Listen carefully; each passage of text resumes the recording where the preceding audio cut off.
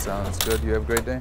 Employees at Moe's Smoke Shop in Brooklyn Park are proud of their spotless record. When uh, the cops or the FDA sends somebody under 18, that's us passing. For six years, they've passed all of their tobacco compliance checks, making sure they ID anyone who looks young. You know, we don't sit here and sell to under 18 because we don't us we don't even want kids to start smoking, you know. As a store in a city that still allows tobacco sales to anyone older than 18, employees say they're waiting for a cue from the federal government to change the legal age. Most stores are not going to sit here and call the FDA, so they're they're expecting somebody either to stop by or a letter to come in that tells them this is you got to do this now.